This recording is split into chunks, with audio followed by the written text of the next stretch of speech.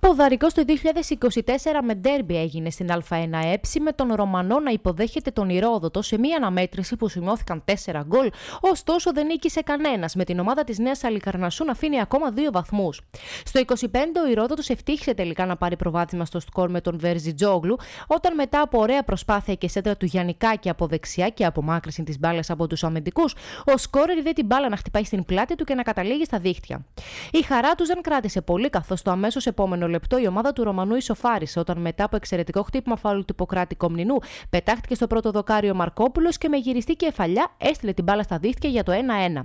Η ολική ανατροπή ήρθε με τη συμπλήρωση μισής ώρας παιχνιδιού όταν μετά από όμορφη προσπάθεια και κόψιμο του Μαρκόπουλου από δεξιά, ο Κρανιωτάκη έκανε το σουτ στην κίνηση μέσα από την περιοχή με την μπάλα να καταλήγει στη δεξιά γωνία του Ζαφύρη για το 2-1 της ομάδας της Ελιάς.